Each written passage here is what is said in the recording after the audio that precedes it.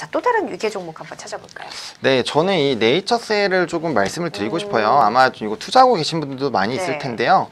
사실 이제 오늘 좀 또 깜짝 또 오르다가 지금 또 이제 이제 약간 네. 강보합 수준으로 좀 하락을 했는데 이 종목 같은 경우는 사실 이제 전거래일에 좀 많은 하락을 했었죠. 이제 금융당국이 이제 좀 주시하고 있다라는 그런 이슈가 터지면서 어 조금 이렇게 주가가 하락을 하는 모습을 보여줬는데 제가 지속적으로 이, 이 종목 같은 경우는 요 라인에서 이렇게 올라왔을 때 아 이거 뭐 특별한 이유도 없는데 너무나도 많이 올랐다. 그래서 네. 좀 이상하니까 이 종목 투자하지 마시라라고 계속적으로 좀 네. 말씀드렸던 종목이에요. 그래서 그 상황이 좀 유지가 되고 있는 흐름이고요. 최근에는 이런 바이오 섹터 자체도 대외적인 그런 흐름들 그리고 각각의 이런 모멘텀들 때문에 좀 악재가 발생하는 경우가 있습니다. 뭐 예를 들면 삼성 바이오로직스가 네. 지속적으로 이제 분식회계 관련된 이슈로 고통을 안고 있고요. 네이처셀도 사실은 주가 조작 의혹으로 이렇게 주가가 엄청나게 하락을 했었는데 아직까지 이러한 흐름세가 지속이 되고 있고 이제 뭐 아무래도 민원을 넣게 되면 금융 당국이 좀 지켜보게 되는데 금융 당국이 지켜봤을 때 사실은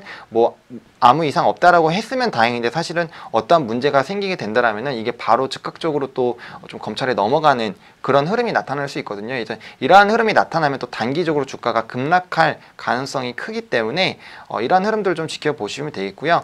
어, 물론 이런 얘기를 하실 수도 있습니다. 정부가 뭐 관련된 이제 그런 어, 얘기를 했기 때문에 올라간 거 아니냐라는 그런 이슈가 있긴 있었는데 사실은 이 줄기세포를 좀 활성화시키겠다는 그런 정부 정책을 내려고 했었던 적이 있어요. 9월 초에. 네. 근데 그거 가지고 사실 이렇게까지 220, 30%가 오르는 건 사실 말이 안 되거든요. 네네. 그래서 저는 개인적으로 좀 주가 급등 사유가 없다라고 보고도 있었고요. 사실 거래소에서도 이제 조회 공시 요구를 했을 때 이 회사에서 어, 뭐 급등 사유 없다라고 네. 했을 만큼 사실은 좀 어려운 어, 그런 흐름이다라고 조금 말씀드리겠습니다.